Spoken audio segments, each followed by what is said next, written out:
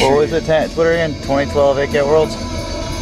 Or was it AK Worlds 2012? Ah. Uh,